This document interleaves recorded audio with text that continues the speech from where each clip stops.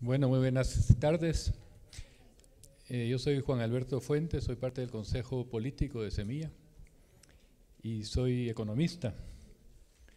Y un problema que tenemos los economistas a veces es que complicamos mucho las cosas y no tenemos la capacidad de explicarlas bien.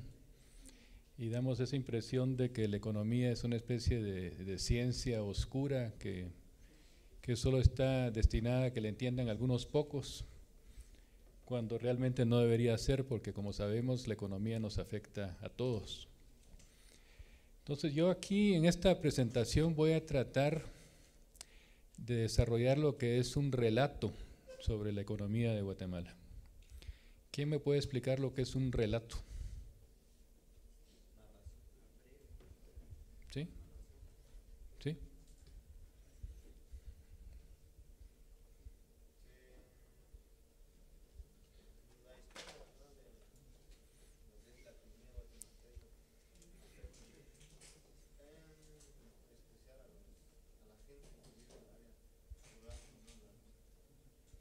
Sí, es como un cuento, ¿verdad?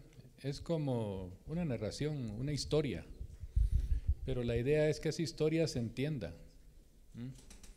Entonces la idea es tratar de identificar los elementos básicos, lo más importante de esa, de esa historia. Y sobre todo que se entienda. Y esto es parte de un trabajo de semilla que queremos poder transmitir las ideas sobre un tema que es complicado. Entonces, lo que voy a tratar es de identificar ese relato, de establecer los elementos de este cuento económico. Y interrúmpanme si no está claro, porque parte del desafío aquí es que juntos construyamos ese, ese relato, ese cuento sobre cómo ha ido la economía guatemalteca, cuáles son los efectos que tiene esta economía. Por cierto, partiendo de una idea que expresaba Matilde el otro día, donde ella veía la relación entre Estado, economía y sociedad, ¿se acuerdan? Una, situación relacional. Entonces yo trato aquí también de tomar esa misma posición. Van moviéndose juntos, la economía, la sociedad, el Estado, se afectan mutuamente. No se puede ver la economía así solita tampoco. Hay algunos economistas que pretenden hacerlo, pero eso es incorrecto. Hay que verlo junto con el tema del Estado, junto con el tema de la sociedad. Si podemos pasar. Entonces, voy a tratar de contarles cómo, cómo se puede ver la economía y después voy a interpretar muy rápidamente algunos desafíos a continuación. Y esta es una síntesis de relato, pero lo voy a ir tratando de desarrollar. Aquí tiene tres partes. Una es eh, un conjunto de elementos básicos que determinan cómo es la economía guatemalteca, cómo está desarrollándose actualmente. Y una parte fundamental de esa economía es la población, la población guatemalteca que está creciendo muy rápido. Eh, Guatemala ya no es un país pequeño, Guatemala es más grande que Suecia, que Holanda, que Austria, que un montón de países europeos, si lo mide uno en términos de población. Además está creciendo muy rápido. Eso es algo que determina en parte cómo vamos evolucionando como economía. Segundo está la inserción y contexto internacional. La inserción nos explicaba Matilde la otra vez cómo el café en particular había determinado cómo iba evolucionando la sociedad, el Estado, cómo los alemanes tenían un impacto fundamental en cómo se había eh, determinado el crecimiento, incluso como en la Boca Costa se rompió ahí el eje de crecimiento de los pueblos indígenas que había anteriormente. En fin, vamos a tratar de ir viendo eso también. La migración es parte de esa inserción internacional. La migración que viene a Guatemala en el caso de los alemanes y ahora más recientemente la migración que sale de Guatemala y que va hacia Estados Unidos en particular. La mano de obra barata determina qué es lo que producimos. Luego hay un otro elemento que no se destaca tanto, que yo sí quiero enfatizar, que es el tema de la inversión. Si no hay inversión, no hay crecimiento, si no hay inversión, no hay empleo. La inversión no es solo la inversión de los grandes, digamos que se ahorra para comprar equipo, para comprar semillas, eh, para hacer un edificio, una casa, esas son inversiones. Pero no, no hay que pensar solo en la inversión de los grandes, también la inversión de la pequeña empresa, de la familia, Eso en Guatemala es muy bajo y es uno de los factores que explica también que crezcamos poco, que se genere poco empleo. Y luego hay un tema político, social y político, que es la simetría del poder. Y que eso ya, bueno, Bernardo habló bastante de eso, creo que todos estamos muy conscientes, como en Guatemala tenemos una historia de, de dominación de un pequeño grupo, una pequeña oligarquía o élite, que se refleja en un Estado que es autoritario también y que es parte de todo ese esquema. Todo esto se refleja, y voy a tratar de explicar por qué, en una baja productividad. Eso significa que si tomamos un promedio de lo que cada guatemalteco o guatemalteca produce, eso es muy bajo en comparación con otros países. El ingreso que nosotros generamos cada uno, los recursos, el dinero al final que, que que generamos es bastante bajo en comparación con lo de otros países, es una productividad baja. Y el empleo además formal, sobre todo el empleo que se tiene derechos, que se beneficia de la seguridad social, también en Guatemala es muy bajo. Luego tenemos una dimensión fundamental y que desde la perspectiva de Semilla nosotros destacamos muchísimo, creo que todo lo compartimos, la desigualdad. Guatemala es de los países más desiguales en América Latina no solo en términos de, la riqueza, de la propiedad de la tierra, de la propiedad de los edificios, de la propiedad eh, de las instalaciones para producir, también en términos de los ingresos de cada año. Eso se concentra en un grupo pequeño de personas en Guatemala. Y es de lo peor en el mundo, por cierto. Y luego tenemos un Estado que no compensa esas desigualdades, porque en otros países esas desigualdades que pueden existir sí son compensadas por el Estado. El Estado a través del gasto social, el gasto en educación, en salud, a través de los impuestos que le quita más a los que más tienen y los canaliza a los que menos tienen, reduce esas desigualdades. El problema es que en Guatemala eso no ocurre. Tenemos un Estado que más bien mantiene las cosas igual. Y como hemos visto ahora en los últimos días y que se mencionaba en una de las preguntas que le hacían a Bernardo, es un Estado que se está deteriorando. Todo esto conduce, el tercer grupo ahí de, factores, a que tengamos en Guatemala un subempleo. La, verdad es que la gente no tiene en general en Guatemala empleos realmente plenos, donde trabajen las ocho horas por día, donde sea una productividad alta, se gane, tenga acceso a la seguridad social. Es más bien son empleos precarios, a medio tiempo a veces, aunque se quiera trabajar más.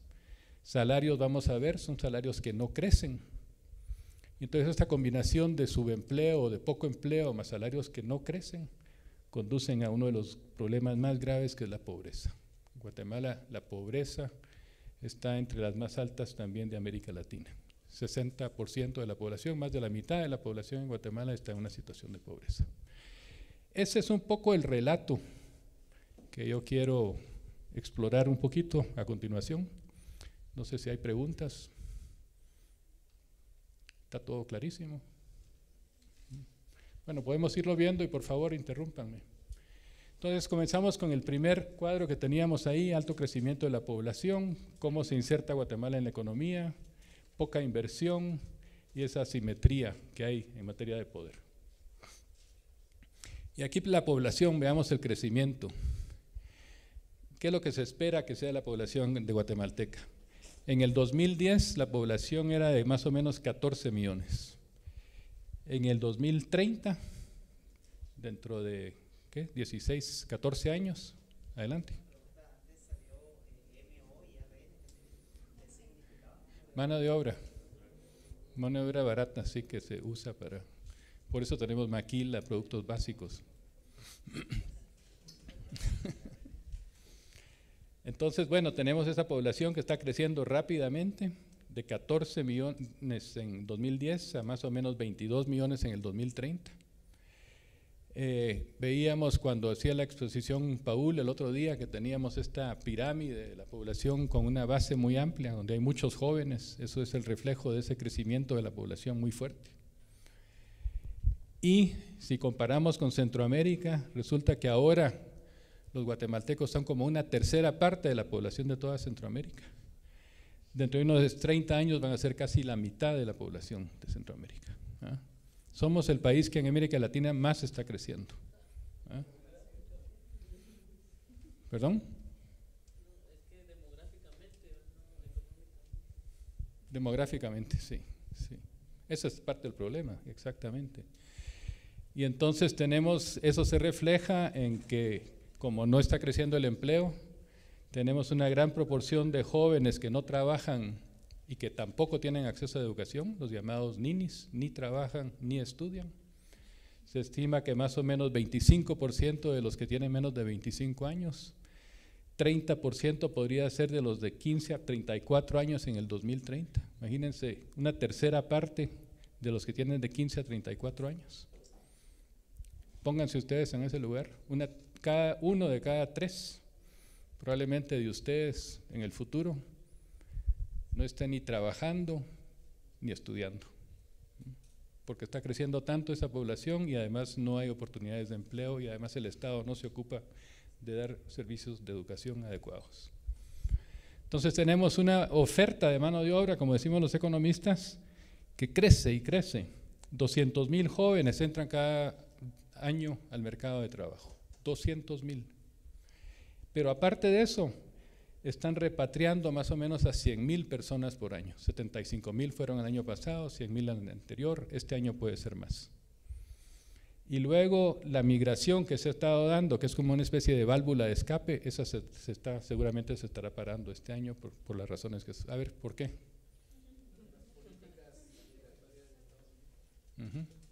¿Quién es el presidente que nos está ayudando?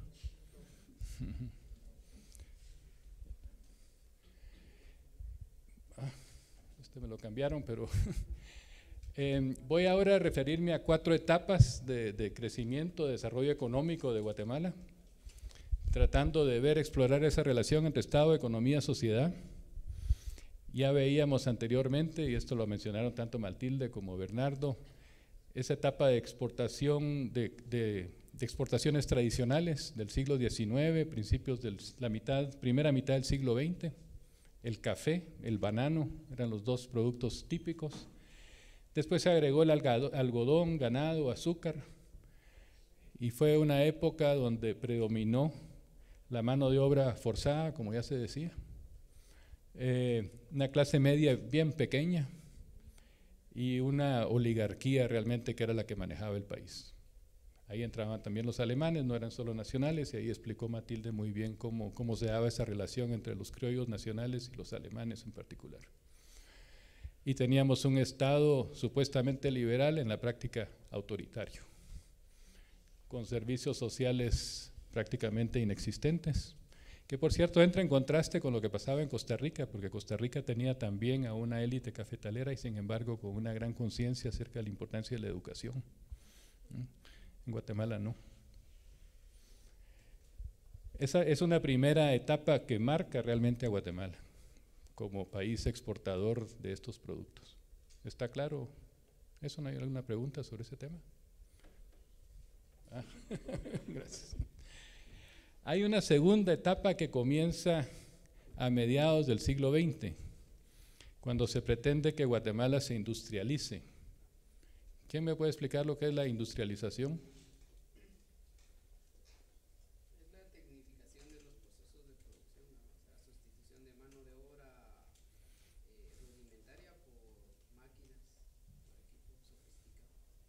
Sí, sí. Pasar de un sistema agrícola a uno donde ya tenga un, un valor agregado, un, ya más producido, no solo materia prima.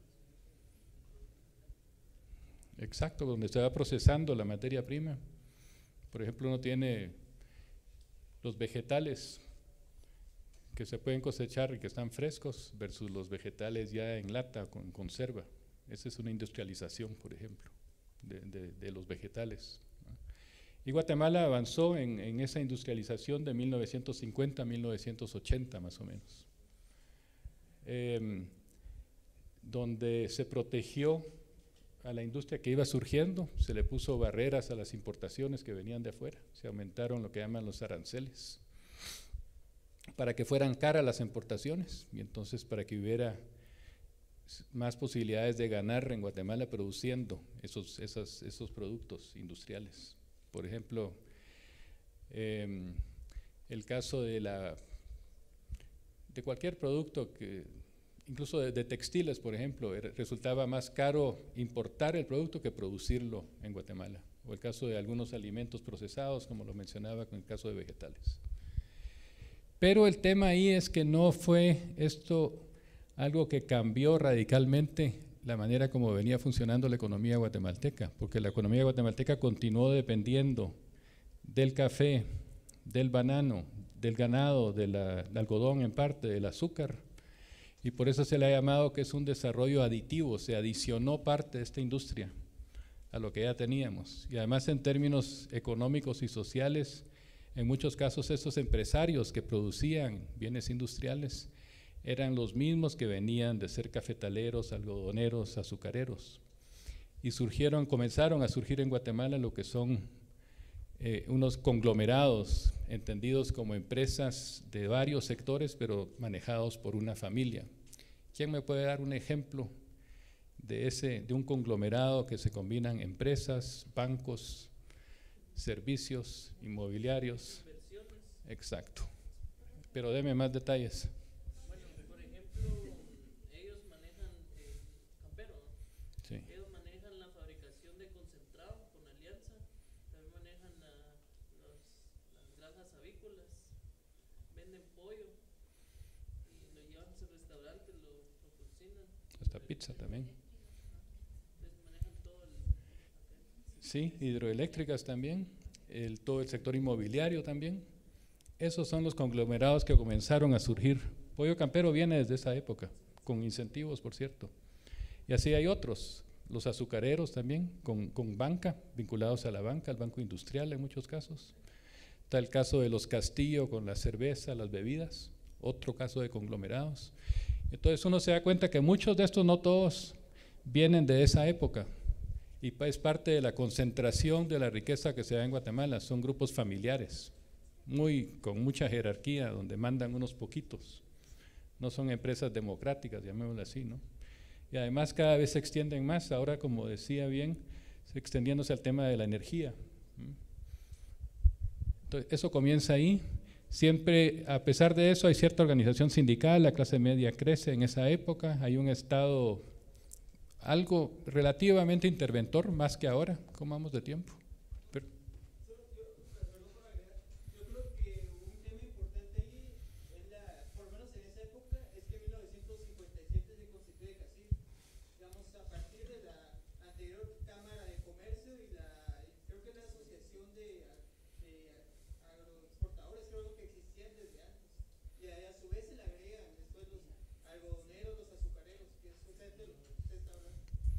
Exacto. ¿Cuántos? Ah. No, gracias. gracias porque eh, precisamente eso, eso ilustra muy bien cómo van surgiendo estos grupos poderosos en esa época, ¿verdad? Ya con otros intereses y más aglutinados, corporativos como se les llama, ¿no? Y, y el CACIF refleja eso precisamente.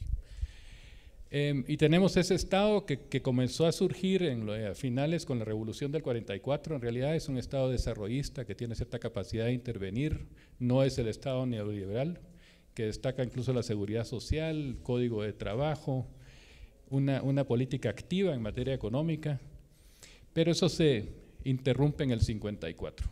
¿Por qué?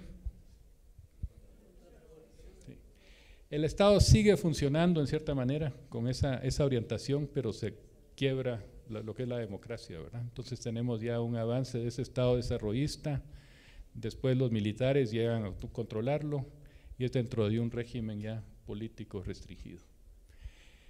A partir de los 80 eso cambia y esto tiene que ver con lo que Bernardo decía, con el consenso de Washington, que se vende a nivel mundial especialmente a partir de organismos de Washington, del Banco Mundial, del Fondo Monetario, del Departamento de Tesoro de Estados Unidos, que no hay que impulsar esta economía con base en la intervención del Estado, que el Estado es el problema más que la solución, que hay que abrirse.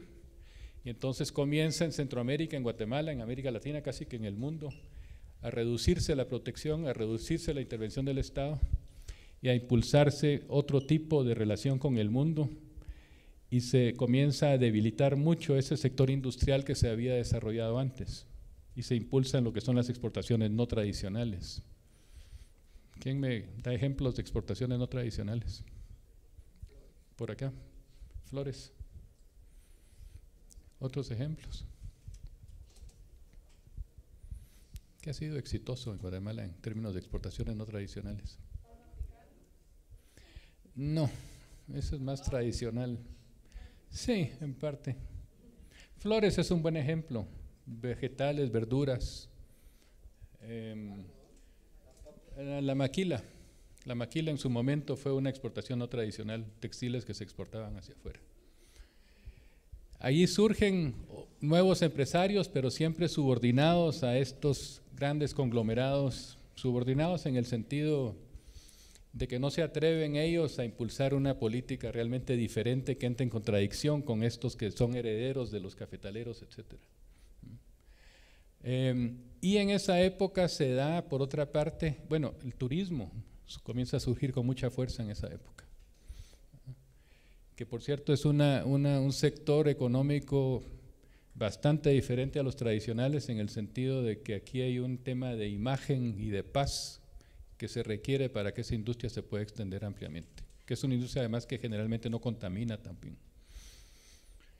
Em, pero al mismo tiempo, y esto lo mencionaba Bernardo, en esa época eh, se comienza a desarrollar con mucha, bueno, yo lo mencionaba, el Estado neoliberal, ¿verdad? El Estado mucho más débil, menos intervencionista, muy vulnerable, aunque coincide con el régimen democrático del 85-86 que se establece en Guatemala, pero sin el liderazgo político que, mencionaba Bernardo, sin la capacidad realmente de que haya un nuevo liderazgo que aproveche ese régimen democrático para plantear otro proyecto de país. Em, y finalmente yo identifico aquí una cuarta etapa de desarrollo económico en Guatemala, que es la expansión de las industrias extractivas, que de nuevo se suma a esas otras etapas y a esos otros sectores que se han ido desarrollando. Y que aquí tiene que ver con la minería en parte, con los recursos naturales, con el agua, con el petróleo, y donde de nuevo tenemos ahí en parte los mismos conglomerados que yo mencionaba, en parte mafias emergentes, que aprovechan también esa debilidad del Estado que surgió antes que es un Estado que es incapaz de defenderse realmente, que es incapaz incluso de suministrar, como decía, eh, servicios básicos y que ahora yo diría que es un Estado neoliberal en crisis. ¿sí? Aquí al final, bueno, mencionaba yo el brinco en migraciones ahí desde los ochentas y comienza eso a aumentar después. Fundamental, sí, es, es lo que realmente ahora está manteniendo casi que a flote la economía guatemalteca es un 10% de los ingresos nacionales, del total de ingresos que se tienen en Guatemala, una décima parte de eso corresponde a remesas. Y eso es lo que permite también aumentar el consumo aquí sin inversión. Y vamos a ver eso a continuación precisamente. Aquí quería destacar dentro de esto actualmente cómo estamos. Y un dato muy importante es que la mayor parte de guatemaltecos son asalariados se han convertido en asalariados y es una proporción que ha ido aumentando recientemente. Son asalariados que dependen de empleo en el sector privado, es lo que está aquí. Estamos comparando aquí dos años, 2000, 2000 a 2014, es decir, en 14 años aumentó en más o menos 5% la proporción. Eh, y también la proporción de jornaleros que está aquí. ¿Qué es lo que disminuyó? La proporción de gente que trabaja por cuenta propia. ¿Quién me puede decir lo que es trabajador por cuenta propia?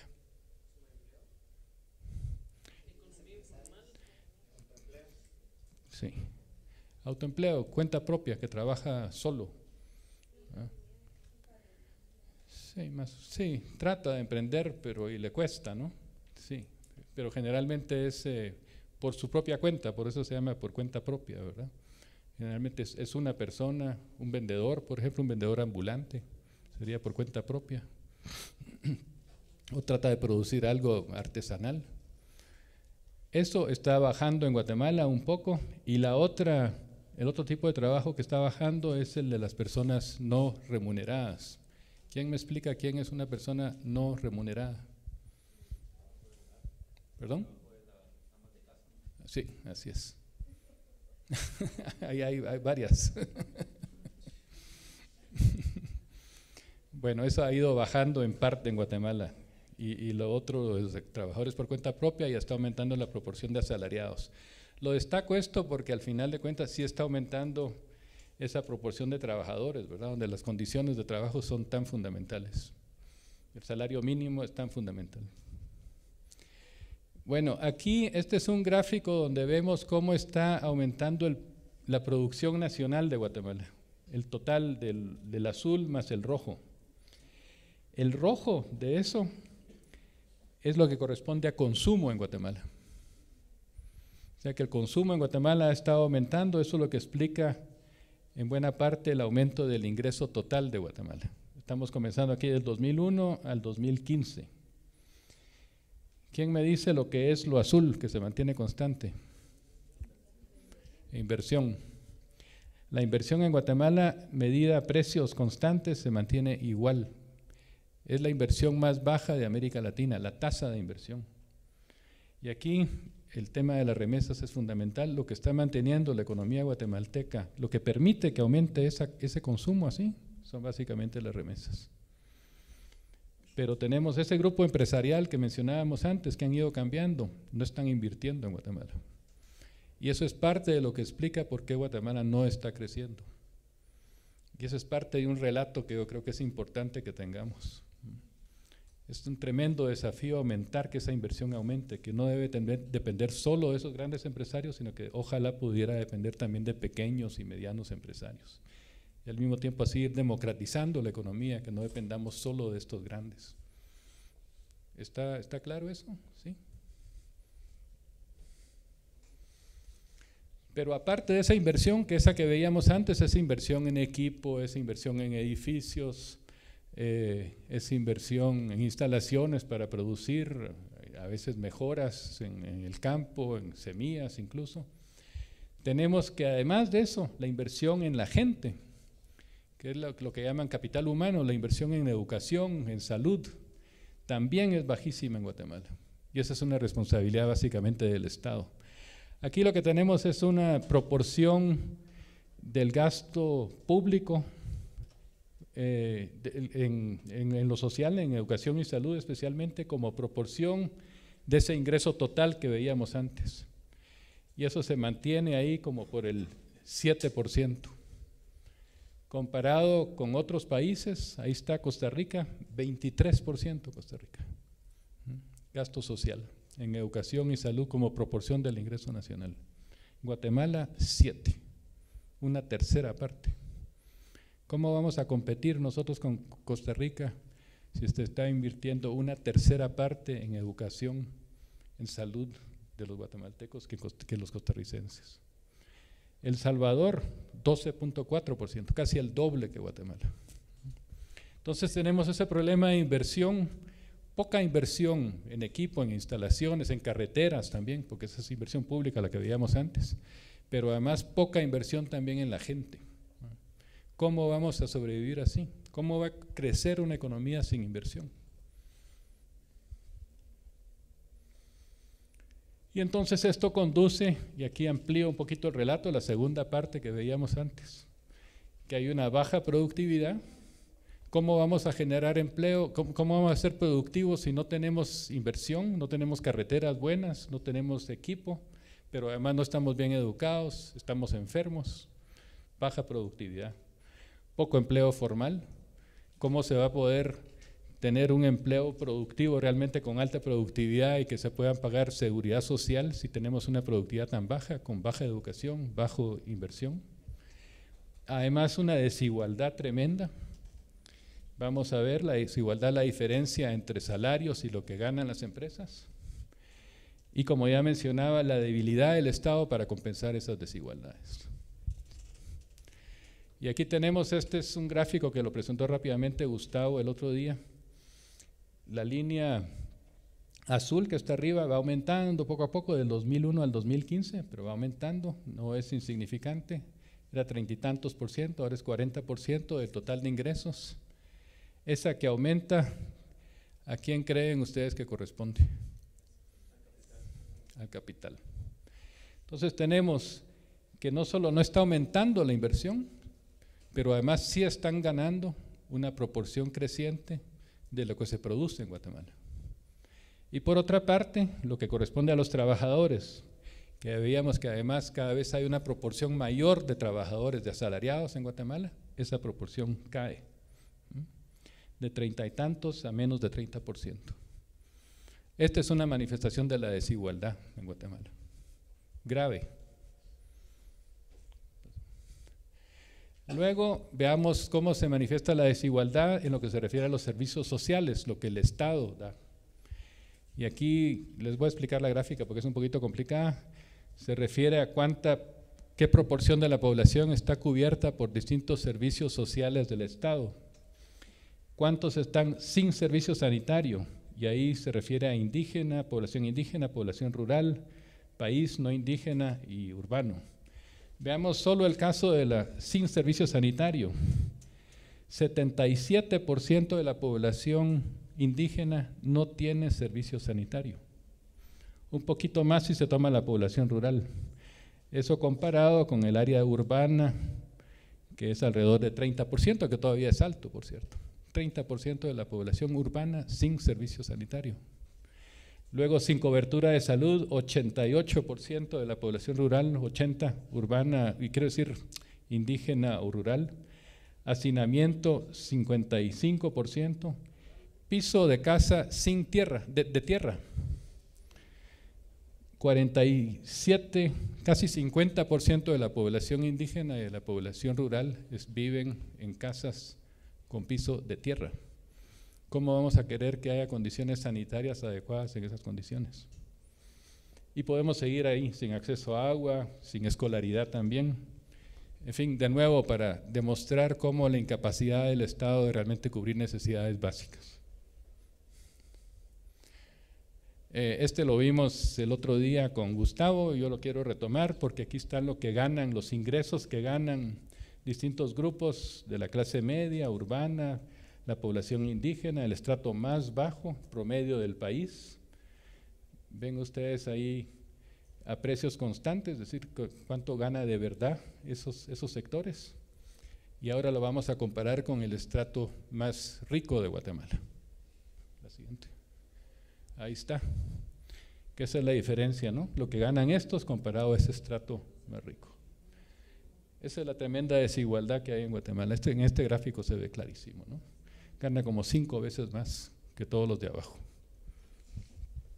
La siguiente. Y bueno, pasamos a lo último, a la última parte que yo identificaba, ¿no? Tenemos salarios que no crecen, corresponde a esa mayoría del país, un subempleo masivo y por supuesto esto da lugar a pobreza. Es parte de, ese relato que yo quería explicar. Sigamos. Aquí tenemos el ingreso mensual promedio de los asalariados.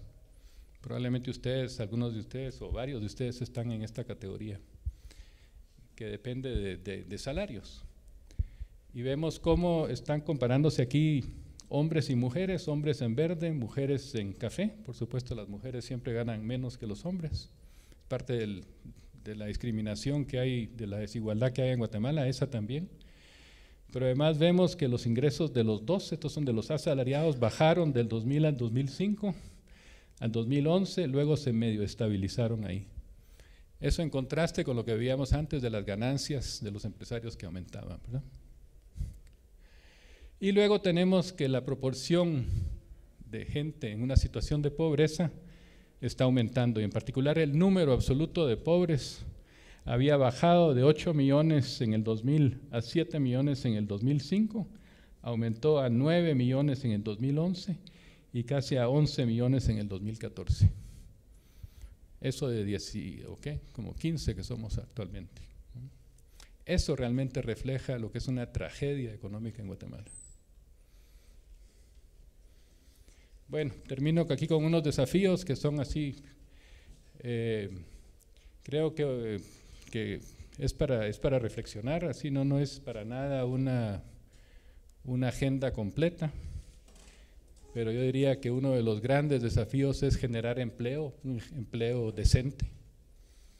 Eh, pero es bien problemático porque tenemos un subempleo masivo, pero además tenemos a que las migraciones se están deteniendo, se van a detener, y además con peligro de repatriaciones. Y luego tenemos un Estado totalmente incapaz, que junto con el conflicto, corrupción, una política macroeconómica que no entré a eso porque no quería eh, extenderme mucho, pero tenemos poca inversión, poca atención a reducir la desigualdad y poca atención para reducir la pobreza. Y eso ya lo vimos ahí. Tenemos también esa tremenda simetría entre lo que es el capital y el trabajo, entre los grandes empresarios y los asalariados en general. Esa participación de los trabajadores no se ve. Luego tenemos políticas monetarias, fiscales, que no cambian y que no permiten que, ah, no estimulan la inversión tampoco. Y entonces lo conduce a uno casi a pensar, bueno, la pobreza y la desigualdad, y termino con eso. ¿Eso es inevitable en Guatemala? ¿Es inevitable que tengamos tanta pobreza y tanta desigualdad? ¿Mm? Entonces yo los dejo con esa pregunta. Muchas gracias.